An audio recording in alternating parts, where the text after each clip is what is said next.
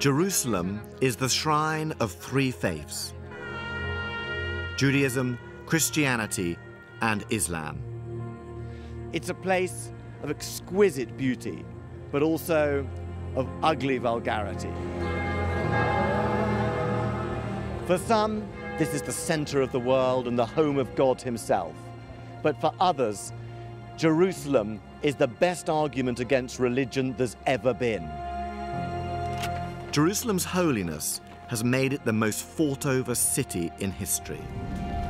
Over the centuries, Jews, Christians, and Muslims have competed viciously to commandeer the history and holiness of this place.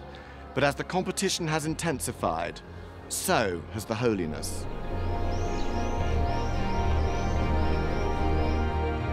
All three religions have shared origins in the Old Testament, and all have laid claim to Jerusalem.